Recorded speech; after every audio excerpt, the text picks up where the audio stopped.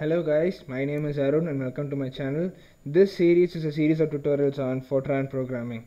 Now in the last tutorial, we guys saw about uh, the geometric series, the prog geometric progression using do loop and uh, the importance of kind parameter. Okay, now in this tutorial, we will be looking into uh, a small topic which might may not be as of as important, uh, may not be as really important as of now, but it might be very useful in the very useful when you're doing a lot of file handling and uh, character handling and all. Okay this concept is called as characters and strings. Okay now in this prog i already written a small program over here but doesn't matter. I'll explain i'll walk you guys through what what ha what has been done here but it's very simple. Okay in this pro this program is defined for printing and uh, explaining how characters and strings work like. Okay now what I have is that I have a program name strings dot I mean a file name program uh, strings dot f95 and the program name is strings. Okay it starts here and uh, ends here. Okay this uh, this v, uh, program I already I actually borrowed from the previous tutorial I made on Fortran and uh, that that so that series became a little too big in each and every video so I thought of you know, condensing it short and without without losing any integrity of data or something anyway go let's going on. Okay the program starts here with the as usual implicit none and then we define a character variable called as a. Now what a character does is that it's a variable that can store just a single character. Then this single character can be a symbol like you know your exclamation ampersand asterisk hash dollar percentage percentage symbol caret even a space. Okay or it can store a single digit of a number from 0 to 9 or uh, any alphabet. Either it's an uppercase alphabet or a lowercase alphabet. Regardless it can store only a single uh, single character. That's the, that's why it gets the name a character. Okay? And then we have something called as a string. A string can be called as an array uh, an array of characters to be short. What a string is it is a collection of characters placed continuously in memory and they act together uh, act as a single uh, variable okay? Now to define a string it's very easy. All your a string string is very easy. What you have to do is that write the character uh, keyword and then with it and you have to include an attribute called as len.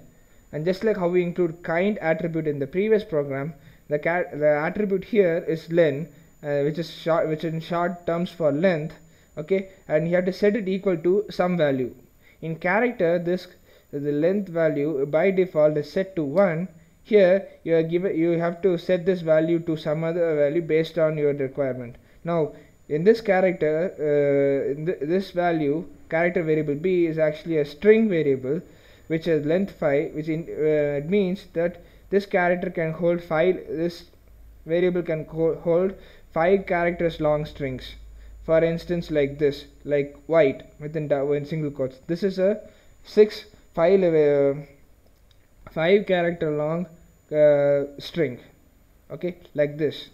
Now this is not the only way to define uh, or de uh, de declare or declare a variable uh, declare a string. It, it has multiple ways.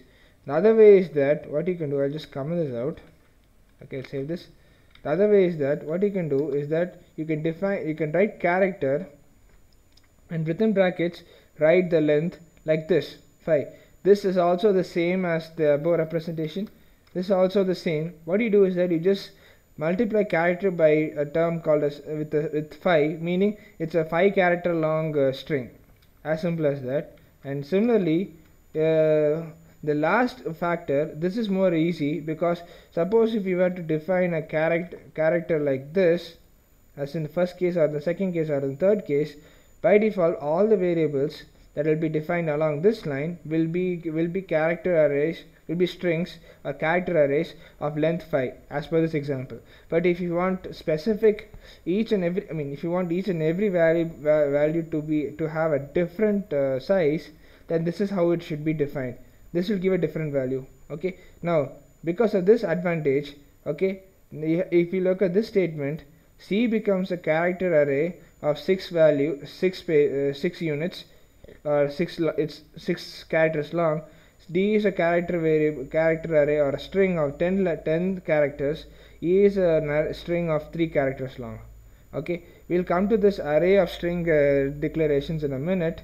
In a minute uh, in a minute. Now we define a here. Let's define b here. Okay? We will define b here. And let the, let us define c d and e as it is here. And let's give some values over here. Okay? Now since a is a character which can store only single value i just give a value x. B is a character having five value five i mean a string having five characters. So i give a character name called as white now c is six six units six characters long so i give numbers a 60 digit number but it doesn't matter you can give characters also. Whereas d is 10 digits uh, 10 characters long so i'm mixing and matching the uh, i'm mixing and matching a complex statement uh, in complicated statement with an alphanumeric statement with numbers alphabets uh, and symbols. Okay and e is actually three characters long and to, to show that this character also stores a space I, have given a symbol I given this character underscore space underscore. Now uh, let's print print all this. To print all this I already written the print commands over here. Okay hope you guys can follow. What I do I just uncomment all this using this option over here. Oh I sorry I commented them again. Sorry let me just comment uncomment them. Come on. Yeah right click format uncomment lines okay now if I just compile this build this and execute this there you have it. A is printed as x y y b is printed as y c is printed as number the numbers d is the character we gave here and e represents the space also. To ensure that space has happened i put a present i i put it in between underscores and it's getting printed uh, uh, over here and uh, i've defined two character dimensions here. And that's two characters two string arrays. And there there are I define them here and they're getting printed here but we'll come to that in a minute. Okay? And now this is regarding characters and character array. This is regarding characters and strings or character arrays. Now let's go into uh, let's come I'll comment this out. Okay? By the way if you guys noticed commenting is a kind of a simple way to avoid certain certain uh, certain lines uh, not to be included in the declaration of a program and all. Okay? This but it, it's also used for not only used for giving information but you can also use to ignore certain statements while do while doing executions and all. This might turn out to be really handy. And if you guys want since there are no multiple uh, multi-line comments in fortran the best way is that you can use the advantage of the compilers okay for that purpose.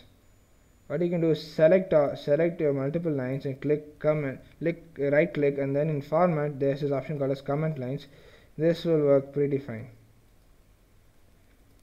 And if you just right click this again and I comment this yeah now I want to include these. Now let's go for character arrays. Now what a character array does it's it's also called as an array of strings. Sorry sorry I I mis I mispronounced it's string uh, array of strings. Okay what this does is that this gives us variables that can store multiple uh, values at a time multiple strings at a time. Here we noticed uh, array of character array of strings sorry sorry array of characters is a string which can store multiple characters at a time whereas array of strings is like the uh, next level next level or it's a second dimensional two dimensional character character array wherein you can store uh, multiple names or multiple strings with each string being a multiple series of characters okay? Now the basic definition for making a making a string is like this.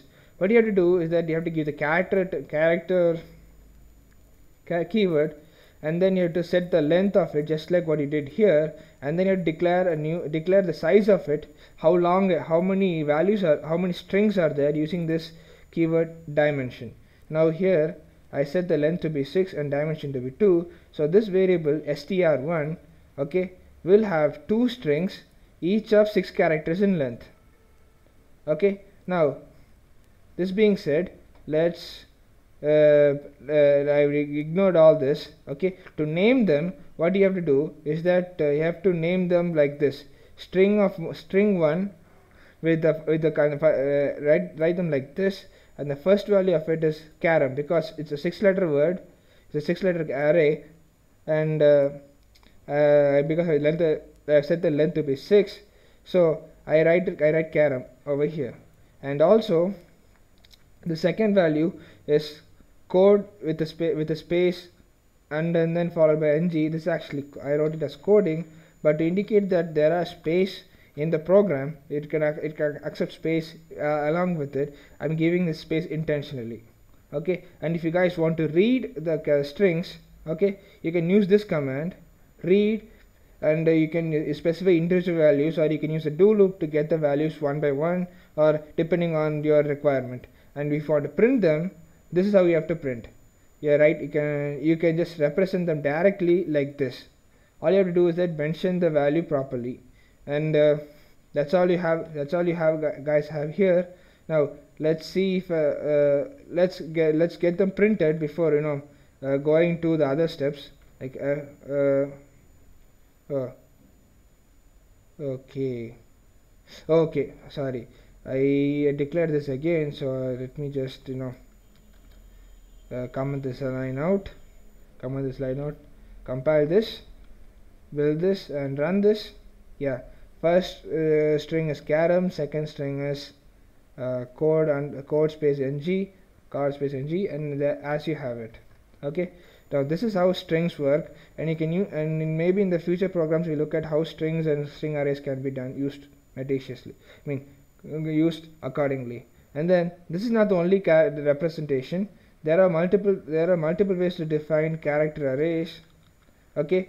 The there's the other this this this dimension also works. If you guys notice these are extreme exactly similar to how we define uh, uh, array of array of characters or strings.